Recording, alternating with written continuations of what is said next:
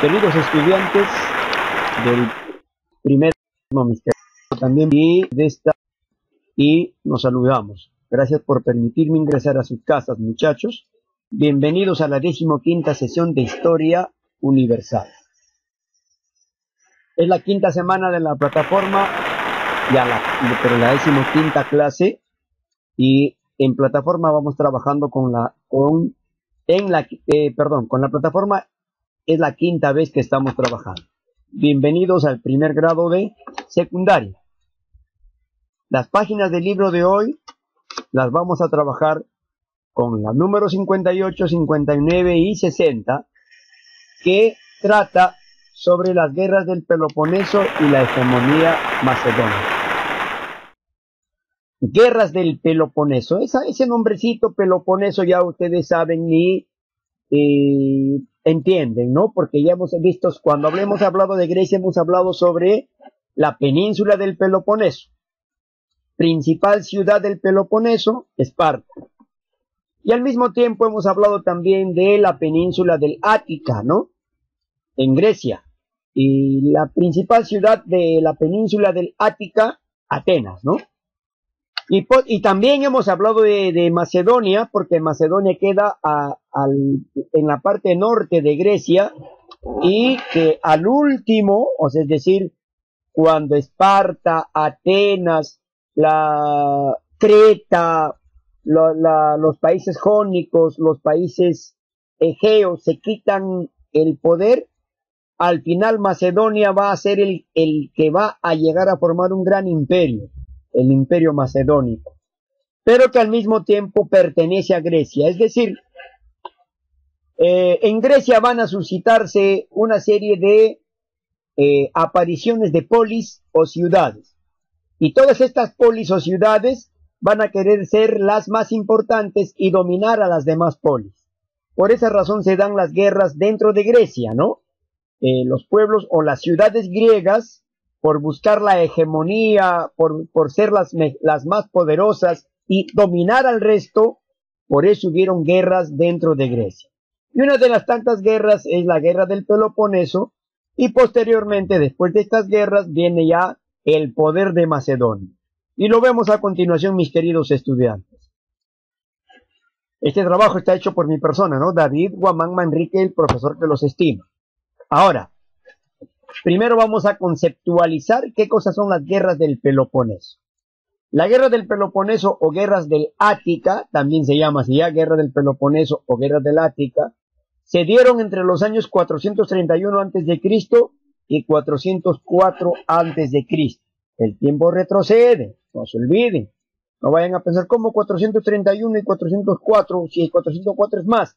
Está retrocediendo el tiempo, muchachos, ya, perdón. 404 es menos, ¿no? 431 es más, 434 es menos, pero es número negativo, va retrocediendo, ¿ya muchachos?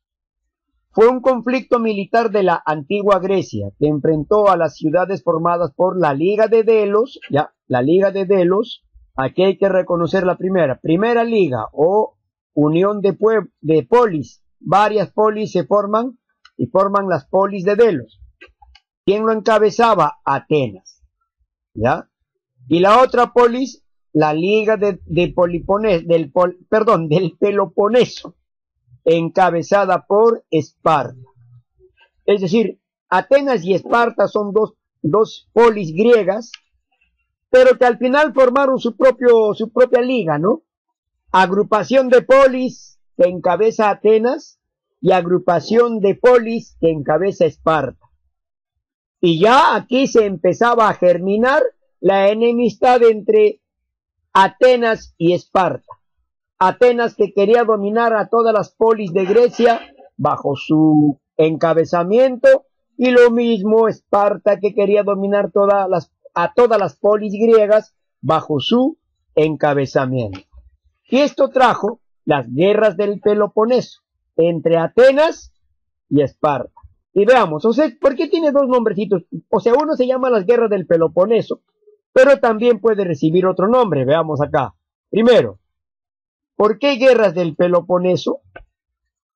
La Liga de Delos, o sea, encabezada por Atenas, tenía como enemigos a los habitantes del Peloponeso.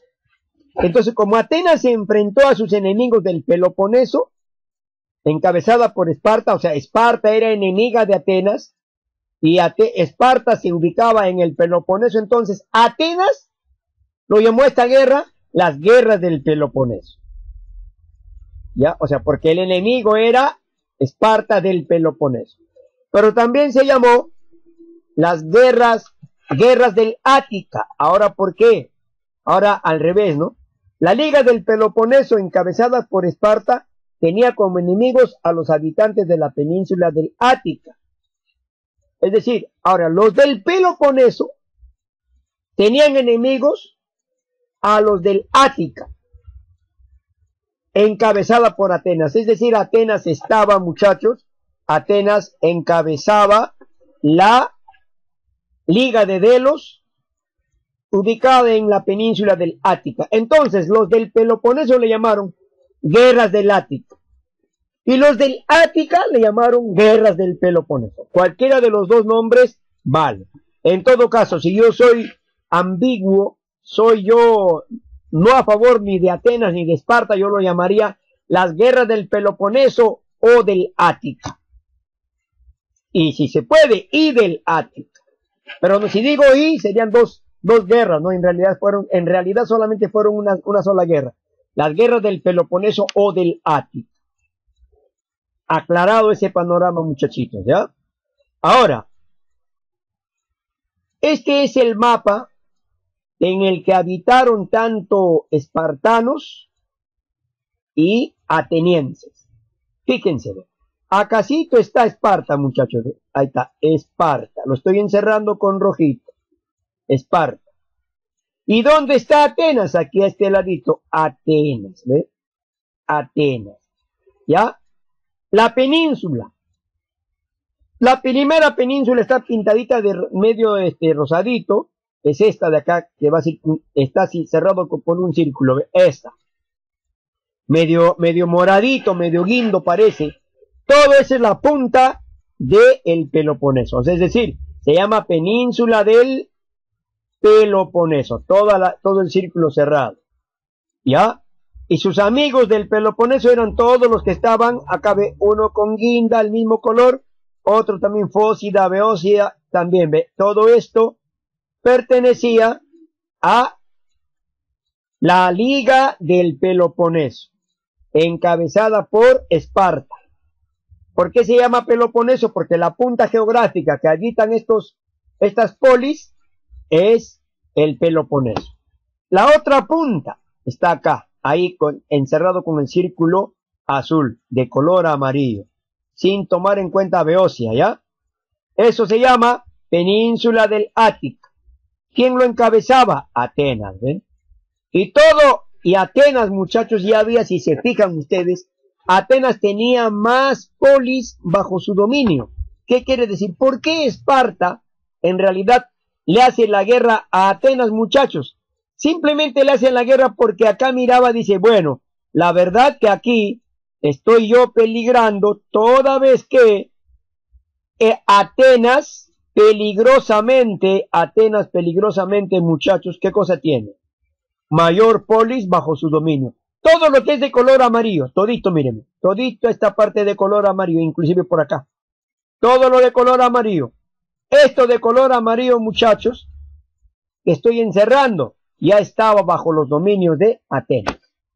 Inclusive por el sector de, de el Peloponeso, acá, Locrida, esto también acá, amarillo, ¿no? Cefalonia, Sacinto y Córcira, ¿ve? Córcira, todos de amarillo, estaban con Atenas. Y por eso es que Esparta dice, pucha, Atenas se está volviendo muy poderoso porque ya se ha embolsillado a la mayoría de polis que hay en el mar Egeo y que hay en el mar Jónico y a mí me están dejando una partecita. No, no, no, no puede ser posible. Entonces yo voy a hacerle la guerra a Atenas para ganarle y que no siga avanzando con su poder. Por esa razón, muchachos, se va a generar la guerra. Y veamos acá, causas de la guerra del Peloponeso. La primera causa, muchachos, ya dije, ¿no? Pugna por la supremacía en Grecia entre Esparta y Atenas. ¿Quién era el más poderoso y quién iba a dominar toda, a todas las polis griegas? Lo otro, la rivalidad comercial entre espartanos y atenienses, es decir, eh, el comercio debería ser beneficioso más por, para Esparta o para Atenas. Esto, esta cuestión económica va a tener una, va a generar una rivalidad entre espartanos y atenienses. Y por último, la expansión amenazante de Atenas sobre las demás polis de Grecia, ¿no? Como les decía, las polis, la mayoría de polis ya se pegaban a quién? A Atenas. Y ya casi nada quedaba para Esparta. Por esa razón, Esparta va a iniciar las guerras del Peloponeso. Fases de las guerras del Peloponeso. Se llevan a cabo por tres maneras, tres fases, tres periodos, ¿ya? Fase. Primera fase o primer periodo, primer periodo dividido en dos. Guerra arquidámica, etapa que se extendió desde el año 431 al 421 a.C. Y la paz de Nicias, que se firma el año 421 antes de Cristo. Ese es el periodo, el primer periodo. Una guerra y la firma de una paz. Pero esa paz va a ser violentada porque Esparta no la va a reconocer y va a iniciar el segundo periodo de las guerras del Peloponeso. Este segundo periodo está dividido en desconocimiento de la paz de Nicias, Esparta desconoció este tratado de paz inicia, e inicia un segundo periodo de guerra. Y aquí se da la guerra siciliana, periodo que duró solo dos años, del 415 al 413 antes de Cristo. El tercer periodo se da también dividido en dos. Guerra de Decelia, esta etapa, la guerra se extendió desde el año 413 hasta el año 404 antes de Cristo y ahí por fin, fin de las guerras en el año 404 antes de Cristo. Aproximadamente 27 años duró desde el 431 antes de Cristo hasta el 404 antes de Cristo duró las guerras del Peloponeso, divididos en tres periodos, ¿ya? Primer periodo, guerra arquidámica y la paz de Nicia. Segundo periodo, desconocimiento de la paz de Nicias y guerra siciliana y el tercer periodo, guerra de Decelia y fin de las guerras. Ahora, veamos la primera, el primer periodo. El rey de Esparta, Arquidamo II, por eso se llama, ojo ve, acá el rey de Esparta, Arquidamo II, ¿ya? Pertenecía a la familia de los Europóntidas. A él se debe el nombre de la guerra arquidámica, porque él lo inició. ¿Por qué se llama guerra arquidámica? Porque Arquidamo II de Esparta inició esta guerra. El rey Arquidamo II asedió Platea en 429 e invadió el Ática en 428. La fecha de su muerte se presume en el verano de 427 a.C. Y su, y su hijo Agis II reinó en 426 a.C. Atenas estaba bajo el gobierno de Pericles, es decir, Esparta bajo el gobierno de Arquidamo II y Atenas bajo el gobierno de Pericles. Y si se quiere también, si los, si los espartanos hubieran llamado a esta, a, esta, a esta guerra, le hubieran llamado la guerra pericleana, porque estaba dirigido por Pericles. Pero los atenienses le llaman la guerra arquidámica porque estaba dirigido por Arquidamo. Y además porque Arquidamo es el que da inicio a esta guerra, ¿no? es el que va a empezar a atacar a Atenas. Entonces dice acá Pericles fue quien fue atacado por por el espartano Arquidamo en abril del 431 y resistió hasta el año 429 antes de Cristo. La peste y la muerte de Pericles. En plena guerra, muchachos, ya en plena guerra del ataque de Arquidamo II contra Pericles, en Atenas se genera una peste. ¿Saben por qué, muchachos? Porque todas las polis, todas las polis que estaban a favor de Atenas, toditos sus habitantes, se vinieron a vivir a Atenas. Tanto que así Pericles, inclusive Pericles tuvo que ya desplazar, ya no recibir a más gente porque ya Atenas rebalsaba de gente. Y como Atenas se llenó de gente, entonces esta, es, la, la conglomeración de personas, muchachos, generó una peste y empezó a matar gente. Inclusive cae muerto Pericles, el líder ateniense. A pesar de que Esparta había vencido ya a Atenas, muchachos, y pudo haberse ya posesionado de Atenas, los espartanos tuvieron que huir. Tomaron sus embarcaciones y se retiraron de Atenas, regresando hacia Esparta. ¿Por qué? Por temor a ser contagiados por la peste. Porque esa peste empezó a matar muchachos. Y en esta epidemia murió Pericles y también alcanzó otros lugares de Grecia como Potidea y a pesar de los éxitos de Formión en Patras y Naupacto, Atenas perdió parte de su poderío militar. Los espartanos huyeron de Atenas por temor a ser contagiados por la peste. Ahora, tras morir Pericles, se formaron dos grupos, o sea, muere Pericles de Atenas y van a formarse dos grupos. Uno representado por Nicias, excesivamente conservador, porque Nicias, ¿qué cosa quería Nicias? Nicias quería la paz, ¿no? O sea, Nicias reemplazó a Pericles a su muerte. Pero Nicias no quería la guerra, quería firmar la paz con Esparta. Y los espartanos no querían firmar la paz. Entonces, Cleón fue, este sí fue un líder militar que reemplaza a Pericles como Nicias no hace la guerra, entonces Cleón dice yo voy a hacer la guerra. Entonces, por esa razón, la historia a Cleón lo va a tomar como el verdadero reemplazante de Pericles. ¿Para qué? Para que a la cabeza de Atenas, muchachos, ¿no? A la cabeza de Atenas, ¿qué, qué hace? A la cabeza de Atenas, muchachos, este pata llamado Cleón, encabezando Atenas, decida continuar la guerra. Es decir, la guerra continuó encabezándola Cleón en reemplazo de Pericles. Nicias, ¿qué cosa Nicias quería? Nicias esperaba la paz, esperaba la paz. Lo que se va a dar después, ¿no? Después se va a dar. Bien, entonces, el verdadero reemplazante de Pericles en la guerra del Peloponeso, ¿quién fue? Cleón. También lo reemplazó Nicias, pero Nicias no quería la guerra, quería la paz. Cleón tomó la batuta de Pericles eh, y, continuó con la guerra del Peloponeso. Las batallas del ateniense Cleón. Ahora, Cleón, ¿cómo va a luchar en la primera guerra, en el primer periodo de la guerra del Peloponeso? La batalla de Esfacteria. Esta batalla de Esfacteria, llevado a cabo en el año 425 a.C., durante la guerra arquidámica, primera fase de la guerra del Peloponeso, representó la victoria de Atenas. Gana León, le gana a Esparta. Es una etapa importante de la historia militar dado que una tropa de infantería ligera venció a una falange de oplitas. Ahora, ¿qué cosa es oplitas, muchachos?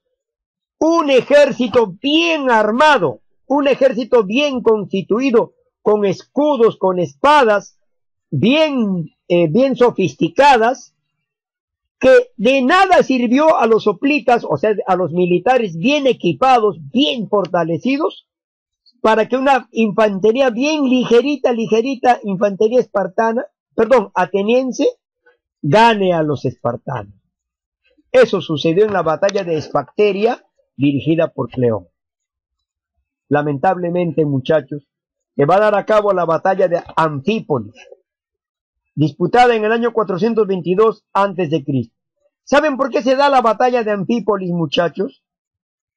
Dice, porque Anfípolis en el año 424 a.C. había sido capturado por los espartanos. En el año 424.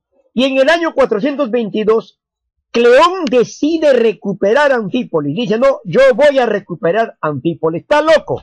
Lo recupero. Por eso es que hace la batalla de Anfípolis con la intención de recuperarla. Lamentablemente, allá, y acá hay dos líderes, el líder ateniense Cleón y el líder espartano Brásidas. En esta batalla de Anfípolis, muchachos, lamentablemente, Cleón y Brásidas van a morir. A la muerte de ellos, muchachos, se da la paz de Nicia. Es decir, ya, Cleón murió. Atenas queda en manos de quién? En manos de Nicias. Y por esa razón Nicias va a gestionar con Esparta la firma de un tratado de paz. Y lo logra. Y se firma el tratado de paz en el año 421 antes de Cristo, dando por culminado, ¿qué cosa? Dando por culminado la primera guerra del Peloponeso, o el primer periodo, ¿no? Acá dice, dice, que puso fin a la primera parte de la guerra del Peloponeso. Lamentablemente va a comenzar un segundo periodo de las guerras del Peloponeso. ¿Por qué? Porque esa paz sería interrumpida. ¿Por quién? Sería interrumpida por los espartanos. Y comienza el segundo periodo, muchachos. Segundo periodo. Guerra siciliana. En este periodo que duró solo dos años, del 415 al 413 antes de Cristo, los atenienses, con Alcibiades al frente, ahora ya hay otro líder de Alcibiades al frente, deciden apoderarse de Sicilia, una región dominada en su mayoría por los espartanos. Sin embargo, ocurre una rebelión. Ahora, ¿qué sucede con Alcibiades? Cuenta la historia que, muchachos, dice, a Alcibiades ya le habían comunicado, hoy, Alcibiades, ¿sabes qué? Si tú regresas a Atenas, ¿ya? Tú has ganado, has recuperado Sicilia, ¿cierto? Ganaste a los espartanos. Pero si tú regresas a Atenas, en Atenas te está esperando un juicio. Es decir, te van a sentenciar a muerte por traición. ¿Pero por qué si yo gané la guerra, recuperé Sicilia, vencí a los espartanos, ¿y por qué me van a condenar? No sé. Yo te aconsejo a que no regreses a Atenas. Entonces, ¿qué hizo Alcibiades? Alcibiades, muchachos, decidió unirse a, a Esparta, se une a Esparta. Bueno, dice, antes de que me maten, regresando a, Atenas, todavía gano la guerra y encima me van a matar. Pues hombre, no regreso. Y se une a Esparta, a quienes seguramente asesoró para acabar con Atenas. Es decir, ahora Alcibiades se pone en contra de Atenas. ¿eh? Y la intención era acabar con Atenas, atacando su economía, lo cual dio resultado. En esta etapa la Liga de Delos se debilitó muchísimo y la economía de Atenas también. La Liga de Delos es representada por Atenas. En cambio, la Liga del Peloponeso, representada por Esparta, toma poder. Y Alcibiades, a quien lo llaman traidor los atenienses, porque como cualquier ser humano, no si voy a ir a Atenas y me van a matar, mejor entonces, ¿sabe qué? Me uno al enemigo que no me quiere ver muerto y lucho con ellos. ¿Por qué me van a matar si yo vencí y encima de haber ganado la guerra, la guerra siciliana, me quieren matar? Entonces no le quedó otra alternativa a Alcibiades a unirse con los espartanos. Y esto le dio buen resultado a Esparta porque teniendo de lado a Alcibiades y que Alcibiades conocía los secretos de Atenas, hizo que Atenas se debilitara. Y por eso viene el tercer periodo llamado la guerra de Decelia. Esta etapa de la guerra se extendió desde el año 413 hasta el año 404 antes de Cristo. Y Esparta se fortaleció en sentido marítimo, muchachos, ¿eh? fortalecido, llegando a formar su propia flota, con la que hizo frente a la flota ateniense, que era la flota más poderosa de Grecia. Pero en el transcurso de la guerra del Peloponeso, Hey, ¿Quién toma poder, quién toma fuerza va a ser la Liga del Peloponeso encabezada por Esparta. Y la flota naval de Esparta toma poder, muchachos.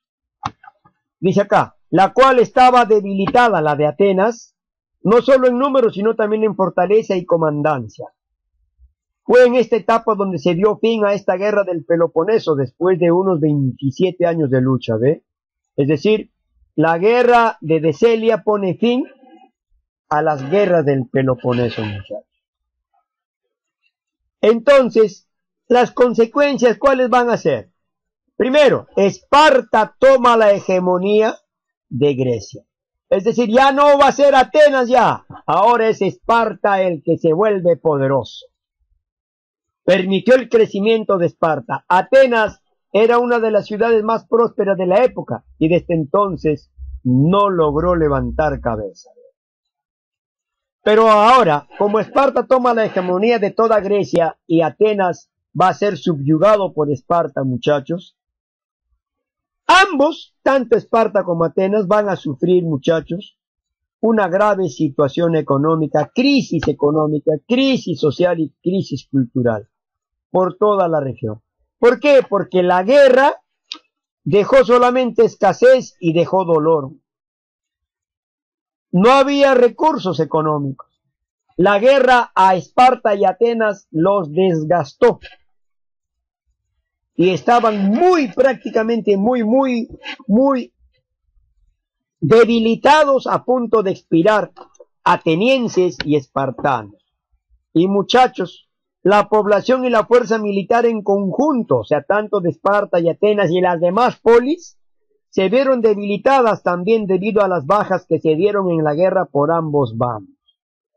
Debilitados los dos muchachos, entonces va a surgir un líder, un rey, de una polis de la parte continental del norte de Grecia, llamado Macedonia.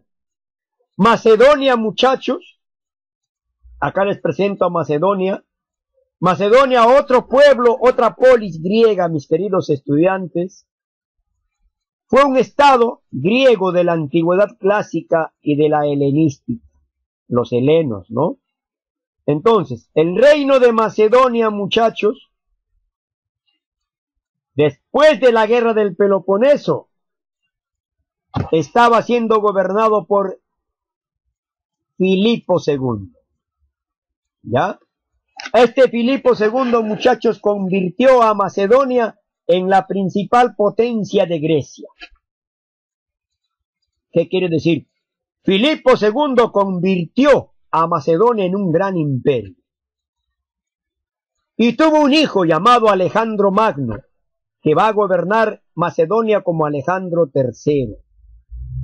Entre Filipo II y Alejandro III o Alejandro Magno, Macedonia va a consolidarse como un gran imperio griego e inclusive Alejandro Magno va a ir a conquistar Egipto y va a lograr y va a vencer a quienes a sus enemigos atroces de Grecia. ¿Se acuerdan cuáles quiénes eran los enemigos de Grecia?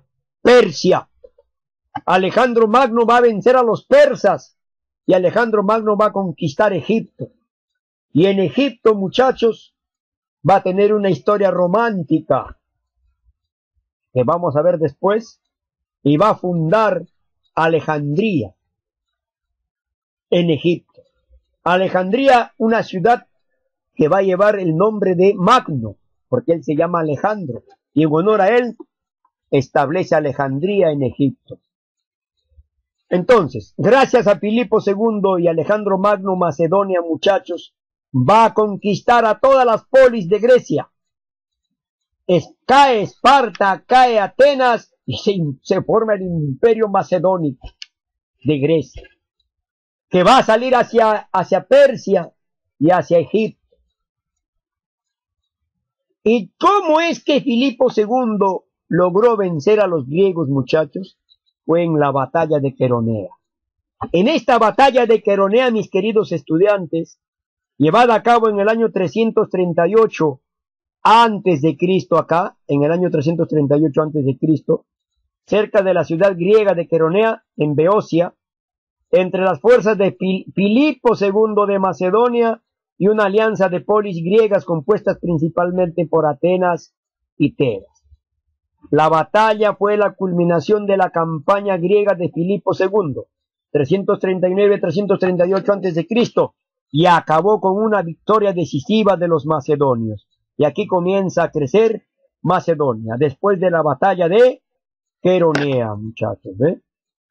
Por esa razón, mis queridos estudiantes, Macedonia va a consolidarse ahora dentro de Grecia como el mejor imperio que se va a establecer porque no va a tener contrincante alguno que detenga el crecimiento de este gran imperio. Entre Filipo II y Alejandro Magno, la solidez de Macedonia va a confirmarse, porque va a lograr conquistar, como ya les había dicho, a qué pueblos? A Persia y a Egipto. Entonces, muchachos, Grecia, Grecia va a lograr su consolidación bajo el dominio de Filipo II y Alejandro Magno cuando se estableció la historia helénica del reino macedonio. Mis queridos estudiantes, viendo esta partecita de la sesión de clase, ahora viene un trabajito de extensión. Copiar en el cuaderno los mapas conceptuales de las diapositivas enviadas. ¿Ya? Voy a enviarles unas diapositivas y lo copien en el cuaderno. Entregarlos el lunes 20 de julio de 9 y 30 a 10 de la mañana. Desarrollar hoy mismo las prácticas de las páginas 59 y 60 del libro. Acabado le toman foto y lo envían a mi WhatsApp personal antes que acabe esta sesión. Ahora quiero recordarles algo, muchachos. Primero, por favor, cada vez que ustedes envíen a mi WhatsApp personal, escúchenme bien, a mi WhatsApp personal me van a enviar las grabaciones o las fotografías. Después de enviar las fotografías, pongan ahí sus datos, por favor, porque yo todo lo que ustedes envían no lo voy a estar almacenando hasta fin de año. Tomo en cuenta sus trabajos, los reviso y los elimino. Entonces, si ustedes vuelven a enviar sus trabajitos de un celular o de donde envíen, solamente veo el número telefónico y no veo los datos. Aquí mando el trabajo, profesor. Veo el número telefónico y ese número telefónico no tiene nombre, apellido, no sé de qué colegio es. Por tanto, muchachos, les pido, eh, escúchenme bien, encarecidamente les pido. Cuando me envíen estos trabajos, al término de enviarme las fotografías, pongan el profesor, alumno, Chuquillanqui, Lapichuco, Stephenson, Jefferson de la institución educativa privada IUNI del segundo grado, suficiente. Ya con eso me guío a qué alumno le pertenece, de qué colegio es, porque tengo varios colegios que estoy dictando clases muchachos, de qué colegio es y a qué grado pertenece. No se olviden, cada vez que envíen las fotografías, sus datos personales, grado al que pertenecen y la institución educativa. Please, por favor, muchachos. También hablo inglés, ¿ya? Un gran servicio a mis estudiantes. Bien, muchachitos, hoy hemos aprendido entonces sobre, ¿sobre qué? Hemos aprendido sobre las guerras del Peloponeso y la hegemonía macedónica. Espero que a ustedes, muchachitos lindos, les sirva de mucho este tema, toda vez que es muy importante conocer el pasado de la humanidad.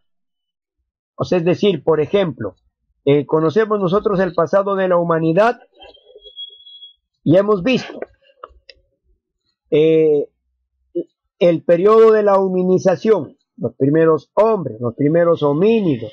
Hemos visto el periodo lítico, el periodo arcaico, luego la aparición de las civilizaciones.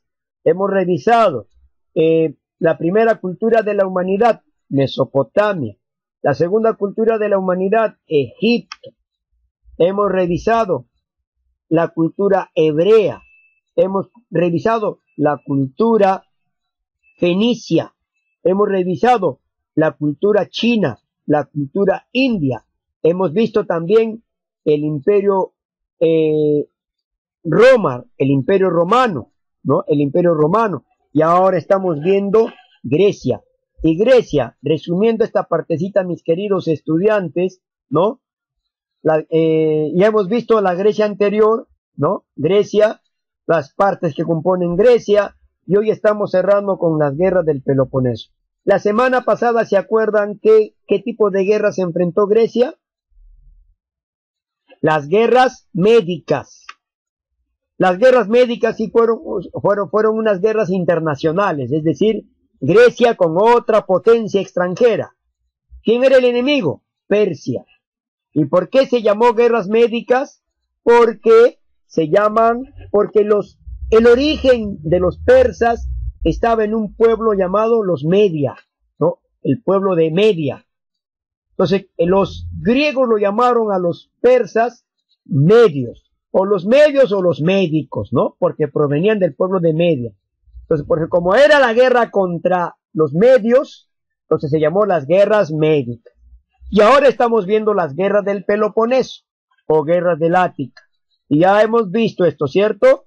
¿No? Acá en el mapa vemos las penínsulas, península del Ática encabezada por Atenas y la península del Peloponeso encabezada por Esparta. Y las demás polis que eh, al final se unieron a Ática. Y algo más, mis queridos muchachitos. Acá estamos viendo, por ejemplo, en esta oportunidad, muchachos, vemos a Macedonia, aquí está Macedonia. Macedonia al norte de Grecia es el que va a luego a formar el imperio macedónico. Va a vencer a los persas que están acá a este lado. Vence a los persas y se va a ir hasta África a vencer y conquistar a los egipcios. Eso hemos aprendido hoy día muchachos y espero que a ustedes les valga de mucho y que les ayude a resolver todos los problemas que tengan en las prácticas que contiene nuestro libro. Gracias mis queridos estudiantes. Será hasta una próxima oportunidad.